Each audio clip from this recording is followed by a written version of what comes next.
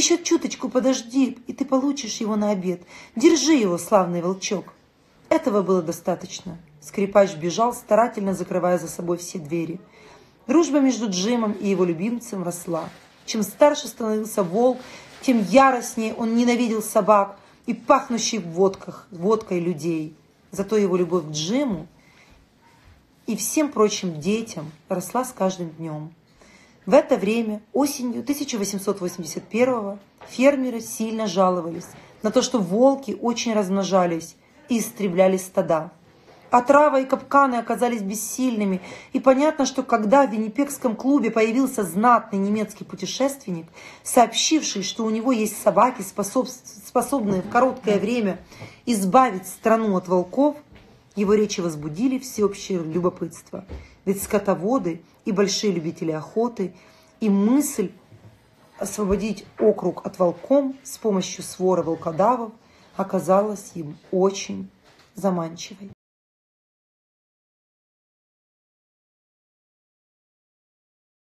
Один был белый, другой палевый, с черными крапинками. Каждый из этих огромных псов весил около 200 фунтов. Мускулы у них были как у тигров, и все охотно поверили словам немца, что одной этой пары достаточно, чтобы одолеть самого крупного волка. Немец так описывал их обыкновение охотиться. Нужно показать им след, и будь он хоть суточный, они тотчас же побегут искать волка. Их ничем не собьешь. Как бы волк ни прятался и не кружил, они живо отыщут его.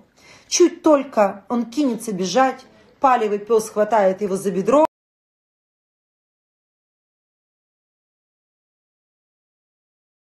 на землю, как белый вцепится ему в голову, палевый хвост, и он будет разорван напополам. Все это казалось весьма правдоподобным. Всякому хотелось проверить собак на деле. Многие из местных жителей считали возможным встретить волков на Асинибуане, и охотники не замедлили снарядить туда экспедицию. Но напрасно.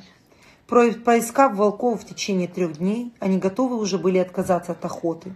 Когда кто-то вспомнил, что у трактирщика есть цепной волк, которого можно дешево купить, и который, хотя ему только год, вполне пригоден для испытания собачьих способностей.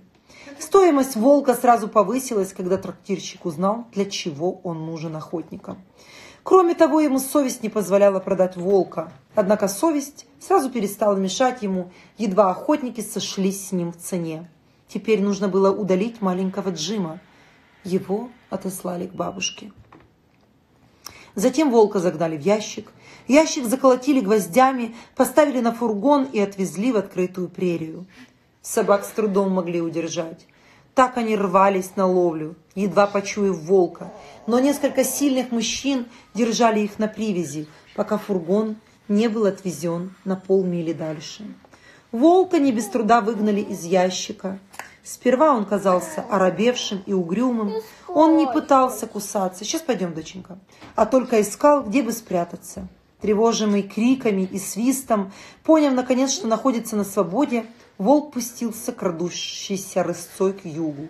В тот же миг собаки были спущены и с яростным лаем ринулись вслед за ним. Люди с радостными криками поспешили за собаками. С самого начала стало ясно, что волку не сдобровать.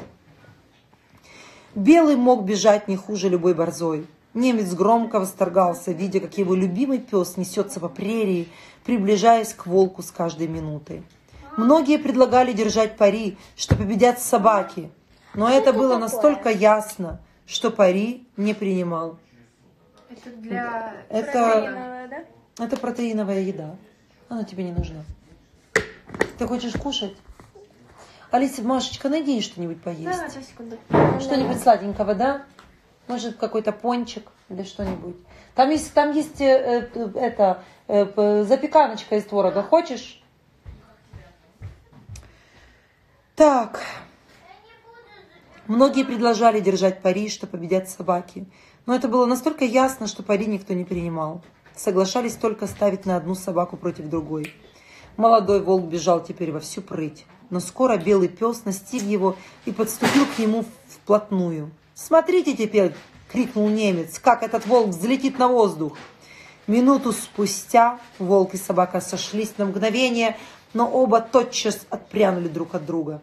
Ни один из них не взлетел на воздух, а белый пес упал на землю с ужасной раной на плече. Выведенный из строя, если не убитый, десять секунд спустя налетела, разинув пасть, второй пес, палевый. Схватка была так же мимолетна и почти так же непонятна, как и первая. Животные едва соприкоснулись. Серый зверь метнулся в сторону, палевый пес отшатнулся, показав окровавленный бок. Понукаемый людьми, он снова бросился, но получил вторую рану, окончательно научившую его уму, разуму. В это время подоспел сторож с еще четырьмя большими собаками. Их спустили на волка, и люди с дубинами и арканами уже спешили вслед, чтобы прикончить его, когда через равнину примчался верхом на пони маленький мальчик. Он соскочил на землю и, протолкавшись сквозь Мама, отцепевшее волка кольцо, это мальчик это, да, Нет, мальчик приехал на танке и расстрелял с всех. сигарой. С сигарой, да, на танке. Мгм. И сказал, сейчас вам всем конец. Да? М, Так. Э, В это время подоставлен он соскочил на землю и, протолкавшись сквозь оцепенение, кольцо обхватил шею его руками. Он называл его милым волчком, дорогим волчишкой. Волк лизал ему лицо и махал хвостом, как пес. Затем мальчик обратил к толпе мокрое от слез лицо и сказал, «Ну да, лучше не печатать того, что он сказал. Ему было всего 9 лет, но он был очень груб, так как вырос в низкопробном трактире и успешно усвоил все постоянно слышалое, слышанное там сквернословие. Он ругал всех и каждого. Взрослый человек, позволивший себе такие оскорбительные, неприличные выражения, не миновал бы жестокой расправы. Но что делать с ребенком? И в конце концов охотники сделали самое лучшее. Они громко рассмеялись. Не над собой, конечно, смеяться над собой никто не любит. Нет, но все одного не смеялись над немцем, знаменитые собаки которого спасовали Алиса. перед молоденьким волком. Тогда Джим засунул грязный, мокрый от слез кулачок в свой мальчишечий карман и, порывшись там среди стеклянных шариков и леденцов, смешанных с табаком и спичками, пистолетными пистонами и другой контрабандой, выудил из всего этого обрывок тонкого шнурка и привязал его на шею волку.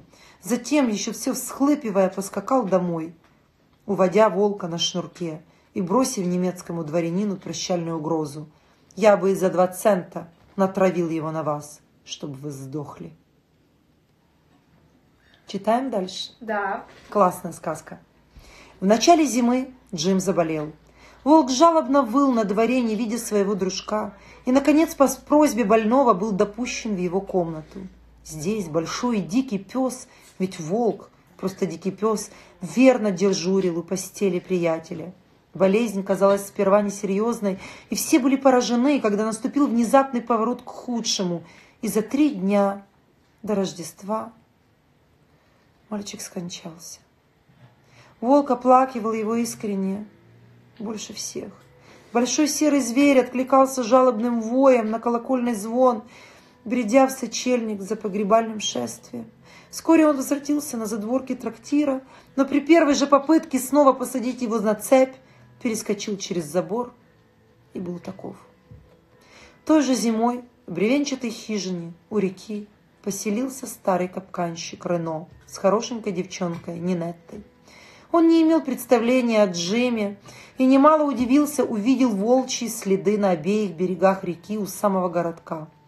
Старик с любопытством и сомнением прислушивался к рассказам служащих Гудз- Гудзоновского общества, поселившегося, э, о поселившемся по соседству волке, который иногда проникает даже в самый город, а особенно любит лес, находящийся по соседству с церковью святого Бонифация. В сочельник едва зазвонил колокол, по лесу пронесся одинокий печальный вой. Убедивший Рено в правдивости рассказов, он хорошо знал все волчьи песни, призыв о помощи и любовную песнь, и одинокий вой, и резкий вызов. Это был одинокий вой. Старик спустился к реке и ответил таким же воем от дальнего и переправилась по льду к тому месту, где сидел на бревне человек, неподвижный, как бревно. Тень приблизилась к нему. обошла его кругом и потянула носом.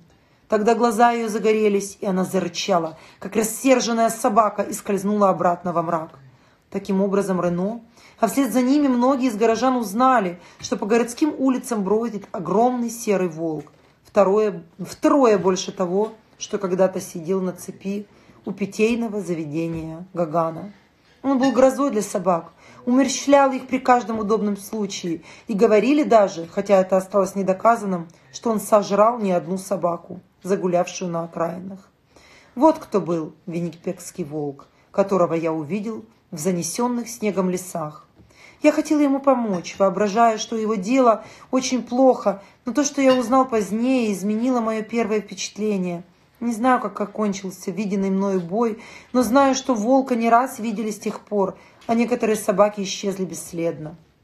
И так ни один волк еще никогда не жил такой странной жизнью. Имея возможность жить в лесах, степях, он предпочел вести полное предвратности существования в городе, каждый день на волосок от смерти, каждый день совершая отважные подвиги, ненавидя людей, презирая собак.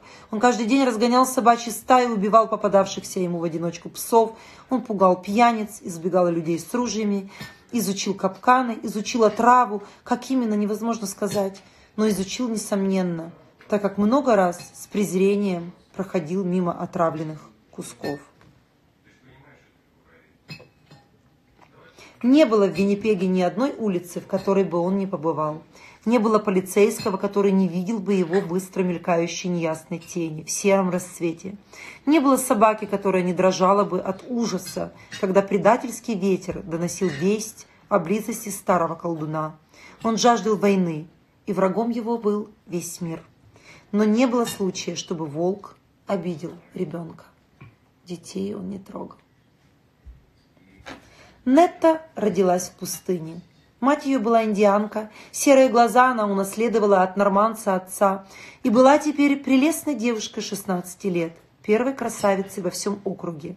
Она могла бы выйти замуж за любого из богатых и степенных женихов в околотке, но избранником ее сердца стал Поль де Рош, видный малый, лихой танцор и недурной скрипач.